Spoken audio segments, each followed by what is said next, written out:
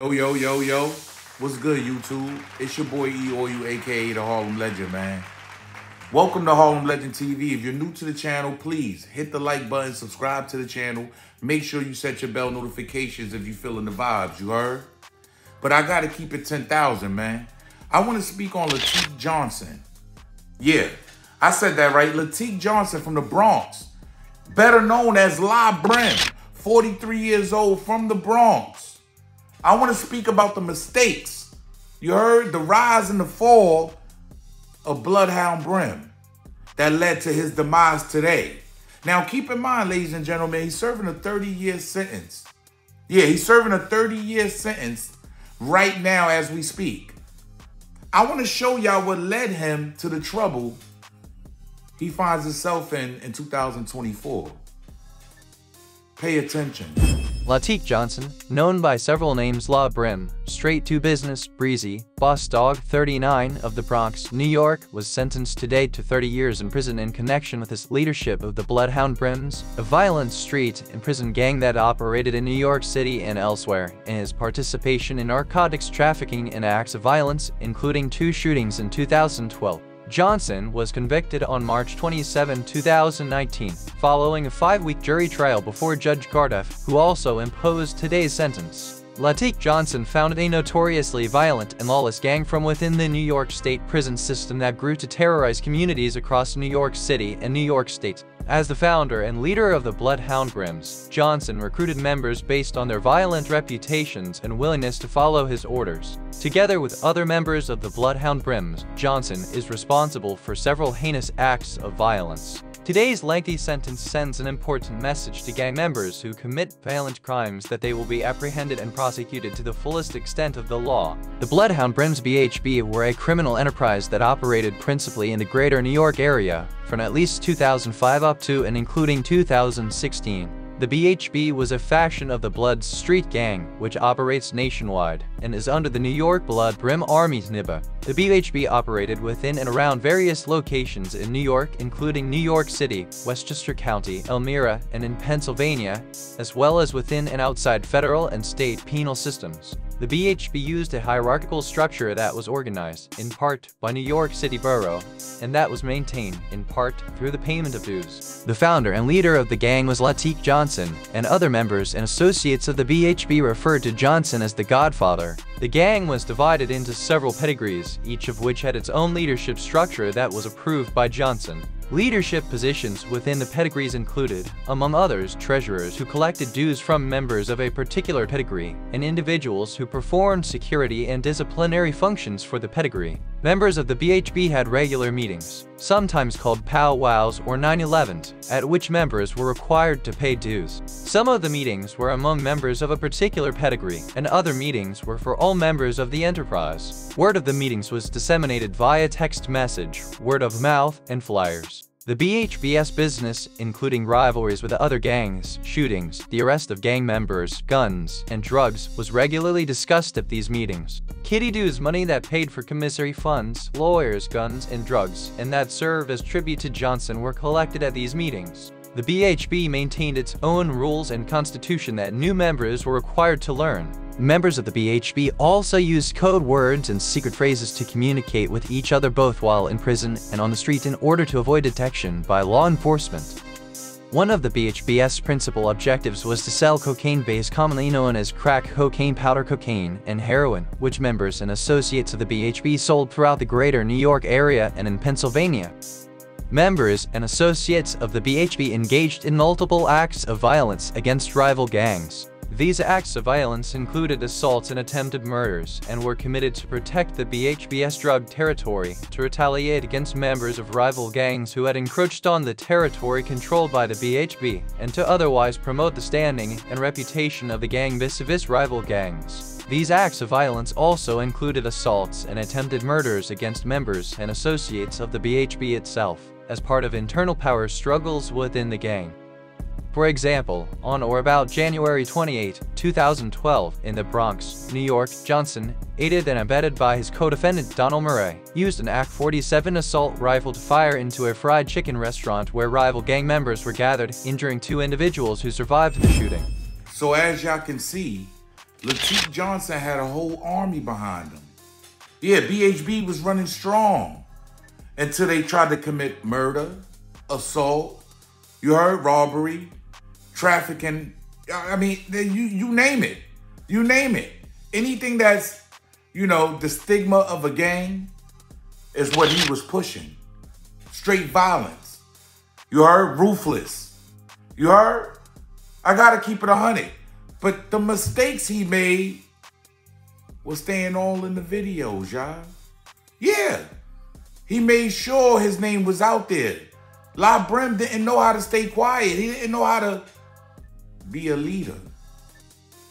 Remember CJ? Yeah, the rapper CJ, Whoopty.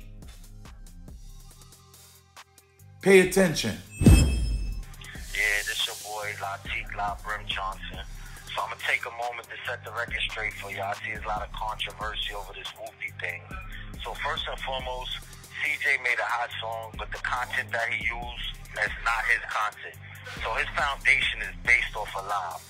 He's not Whoopty. He don't know nothing about Whoopty. He just seen a fly splash and he jacked it, which is a smart move. But in life, you gotta show respect and you can't live a lie. Now you jacking something that they got dudes in jail for. There's allegations behind that, that word right there that made it such a splash for you to want to jack it. They gave me 30 years for a lifestyle full of allegations of a lifestyle that you talking about that you never lived.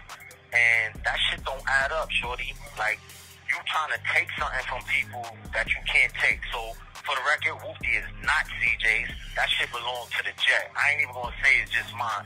It belongs to the Jet. It's not his at all. You can put every lawyer you want behind it, do all that. And I'm not speaking violence. I'm not beefing with you. I'm not trying to down you. I'm just speaking facts and keeping it real. That's the glow shit. You know what I'm saying? So you need to uh, fall back with that and get in your place and find your own content because you got a little tight delivery. I heard your song. But make your content truthful. Don't speak lies. When you living off a lie, ain't no foundation there. So all that shit you speaking in them songs, they got some boys in the street, not my team, just speaking in general, that's really gonna see if you about that mess. And I told you that's the allegations of my whole lifestyle, my whole bop that I'm in jail fighting for. So um you gotta really get it together, shorty. But for all my real glows, you know what it is, man. Whoopty. Y'all know what it is. Stand on that, man. That's our shit. So don't let that little boy play with y'all, man. And I'm not promoting violence, beef, or nothing. Just speak the truth and let his ignorance die with his fables and his foolish content, you heard? That was Latique Johnson in the video, actually what I call friendly extortion. You understand? First of all, when you're a leader and you're a founder of a violent street game such as Bloodhound Brim, you might not want to be calling in anywhere. I'm gonna be real. You might not want to be calling in from one of the biggest rappers at that time, CJ, over the whoopty. You know, that's a cadence that the BHB, you know, that's what they, you know, whoopty, that's, you know, that's what they go by. It's public record. It's disgusting. But I gotta keep it real. This is a man serving 30 years in prison. You heard he's serving 30 years. He didn't stop there. He was also on Clubhouse. You heard? He's going that China Brim. You heard? He's going with China. He, he's having arguments and, and talking with China Mac. All in Clubhouse over something that Wack 100 said. Called him a rat or some. Real bosses don't speak. Especially when you run an army. I feel like that was one of his biggest downfalls. Now I must show you what led to his demise in 2024. Pay attention. Long Island have announced an indictment against 31 accused gang members who they say are responsible for 18 different shootings. And one of them, a school teacher, was killed after his car was allegedly mistaken for a rival gang member's. Jody Goldberg is in Brentwood with details. Kimberly Collins Midget was a beloved mother and school teacher. Police say she was killed after her car was mistaken for a rival gang members last summer in Hempstead. Those responsible are members of the Bloodhound Brims gang, a subset of the Bloods, according to officials who say these surveillance videos helped crack Midget's case and nearly two dozen others since 2021. We have this leader in California working through proxies to tell young men in Nassau and Suffolk County to commit shootings and other acts of violence on behalf of the gang. The leader, Latique Johnson, who went by the pilot, was allegedly calling shots from his jail cell in California. Omar Barry and Josiah Herbert were at the top of the gang's hierarchy on Long Island. Law enforcement seized tens of thousands of dollars from Johnson's commissary account. They say he would collect dues from lower ranking members. He did that from a jail cell in California. He may or may not have thought he was insulated from prosecution on Long Island. He is not. A total of 31 alleged gang members and associates were arrested. Prosecutors say they played a role of some sort in shootings, robberies, and narcotic sales from Hempstead to the Hamptons. These illegal handguns were passed around and used by the men. The Bloodhound Brims gang is one of the most violent gangs we've ever seen. And that is why we stand here together to say that we are going to prosecute these cases as a team. Officials say gang activity is still active on Long Island, but these latest arrests help hamper operations while sending a clear message to active members. If you fire a gun, if you conspire to fire a gun, you will be held responsible. The ringleader will be brought from California to Long Island to go before a judge. He faces a max of 25 years in prison if convicted. The goal, according to officials, is to hold these defendants on bail to keep them off the street. They're continuing to investigate and expect other arrests will follow. So there you have it. Brentwood, Long Island. You heard? 31 men indicted. Indicted. Racketeering, shootings, murders. First of all, I want to start by saying rest in peace. Rest in peace to Kimberly Midget. You heard? Rest in peace to Kimberly Collins Midget. It was disgusting. She's a school teacher, y'all. She was caught up in this senseless violence. All because this one man is sending out orders. I gotta be real, y'all. One man is sending out orders. Rest in peace to this mother, this teacher. She should be celebrated. But guess what? That would never happen.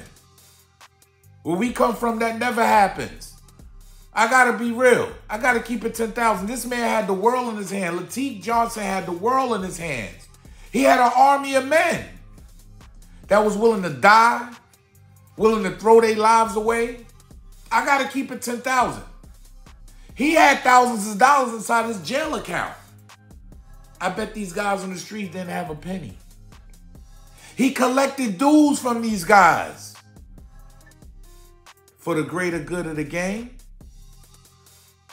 It remains to be seen, ladies and gentlemen. These guys were out committing crimes as an army. 31 people. You know what you can do with 31 people? Everyone can be rich. Everyone can be living a lavish lifestyle.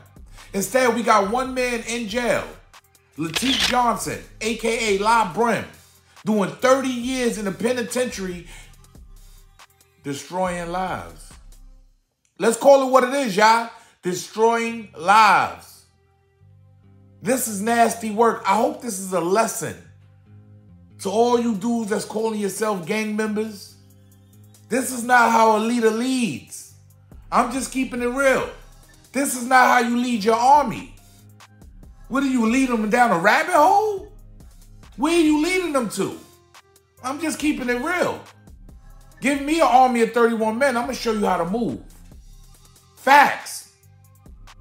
It's disgusting that he used these men just to commit more crime. I don't get it. Why not tell these men get a job and let's support each other? Let's come to the let's get let's get on some. First of all, I don't know how you worshiping a man that has 30 years behind in prison. He has 30 years. He just let me know, y'all. Did he just buy his number one ticket to ADX? He was free to get on the phone. He was free to get on Clubhouse. He was free to come at CJ. Did he just buy a one-way ticket to ADX? Those of you that don't know what ADX is, it's a lockdown facility. That's where they send the biggest and the baddest. Let me know in the comment section, man. Yo, it's your boy E or you, aka the Harlem Legend, man. Like, comment down below, subscribe, leave a comment. Let me know how y'all feel about this whole situation. But yeah, La Brim doing 30 years and got 31 men indicted off his behind a jail cell. We got to do better, y'all. Salute.